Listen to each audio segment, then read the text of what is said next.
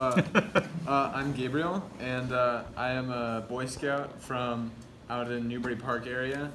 I was working on my Eagle Scout project, and I decided to. I was looking at uh, some of the things that you guys were offering, and I noticed one about assembling kiosks. Uh, two in Topanga State Park, uh, one in Will Rogers, and then kind of refurbishing another one in Topanga State Park. And so, what my dad's passing around right now is these little pamphlets. There's three different things in them, but they all they all are ways of going to the same thing.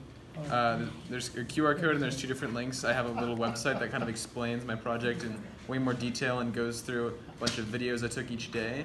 But so pretty much what I did is I coordinated with you guys and with the state parks and ended up uh, getting three kiosks, like I said, assembled in those three different places.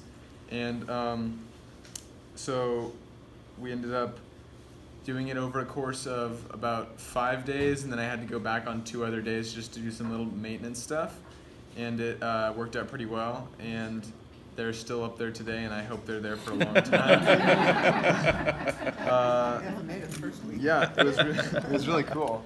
And one of the cool things I did also was I kind of asked some people along the way, you know, what would you like to have added in this kiosk, or what, what would be helpful to you?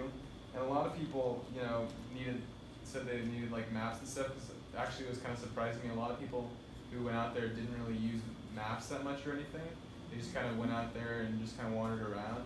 And so uh, they said they would be helpful to have maps in the kiosk. And then there were some other super tired, sweaty people who really wanted, you know, stuff about weather and like what the temperature was going to be like, because uh, then they could be more prepared for that uh, along the way. And then um, there was it was mostly younger people that I noticed in the trail. And after every day I was out there, I counted how many people I saw at each site, and then kind of extrapolated from that per week to per week.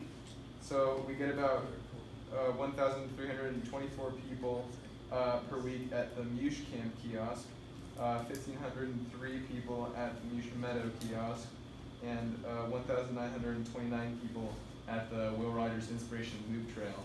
So that's a pretty big number.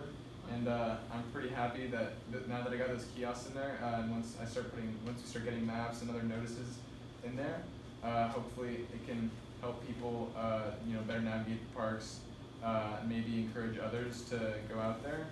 And because uh, I really like these state parks, I think it's really cool. Because more and more in recent years, we're, you know, tending to kind of ignore the natural world and just kind of plow it down and put a house on it or something. So it's really cool that we have these preserved areas where we can still go walk around in nature and just kind of enjoy it. And so I think that's really cool, and that's why I chose to help you guys. Uh, so thank you for this opportunity, and uh, thank you to State Parks. It was a lot of fun. I had a total of around 24 people uh, volunteering uh, to just help me out, and that's just the people who were doing work with me and stuff. There was a whole other spectrum of about 20 other people who were helping me organize things behind the scenes, and getting approvals and other things arranged beforehand and uh, helped me get the word out.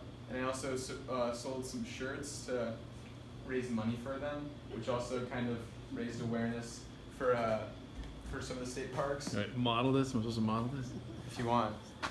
Uh, so yeah. I can't read it from here. Uh, it says. It's a quote from Will Rogers because I was one of the parks, and it says, "A vision without a plan is just a hallucination." And so then on the front, I said I kept Gabriel from hallucinating because people help support me with this uh, in my campaign to raise money.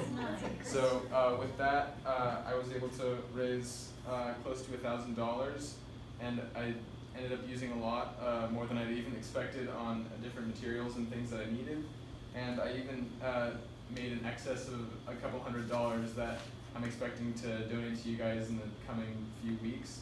And uh, it was, yeah, so it was a lot of fun doing it. I had a lot of fun organizing it. And it was a cool experience to kind of finally give back to the parks that I've always loved. So um, I think that's it.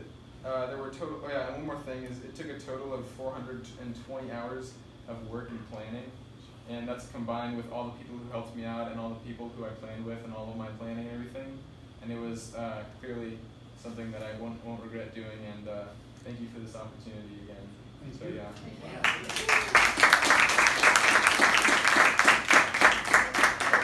Does anybody have any questions they want to ask? I do. How do you know how many people were visiting each kiosk? So as I, uh, every day went by and we were doing work, here I'll stand up so it's more efficient. Um, as we went by every single day, uh, I had my dad count uh, how many people he noticed walk by, and not only just people, but also you know differentiate between people and rangers, and, and horses and dogs, and all those things. And so we only there were only a few dogs, and there was like one horse, uh, and there were like I think four or five rangers, or somewhere around somewhere around that or less in total. But there was a surprisingly large amount of. I was actually surprised by how many people would pass by in just a small interval of like half an hour and it, it was really cool uh, getting to talk to them and kind of see where they came from and why they were out here. And uh, they were all super happy that we were putting these in because I think uh, they were like we. I think some of them said like you know we were waiting for this, or some people said you know no, uh, it'll I'll be of mad here and stuff. And so uh, I think yeah, so that was I, that was mainly how I counted people because I did that, and I also uh, the reason I got all these statistics was I did like anonymous surveys. Like I handed them a piece of paper that basically said like, you know, how old are you? What do you want to see in this kiosk? Just some simple questions, not like anything weird. And uh, so yeah, that kind of helped me round up how many people there were, and uh, the results were pretty cool. Uh, you know, over a thousand, over 1,300 people in uh, the different parks each day. So that was about what got. When you said uh, a lot of people were younger, what were their ages? roughly? Uh, they were all they were The all range. yeah they were all in like their young thirties for the most part average. Uh, that was what I got. Uh, particularly thirty four year old. Uh, The a- so- average was 34. Yeah, the average is 34. Um, so it was a lot of younger people. I, I think there were a few. I think there might have been one or two outliers that were older, but it was definitely. Uh, uh, How, how would you classify us? obviously, Say no more. obviously, obviously, young thirties. Good answer, good We had a big. We had Hey, a, Sean, you did a good job. Okay, that's right. Trying, trying. but yeah, it was cool because uh, from what I've always seen, I never really like knew like because I always assumed that the people who were like younger at this point in at this day and age we're kind of more interested in like doing other things. But it was pretty cool to me that we saw a lot of people interested in uh, the outdoors.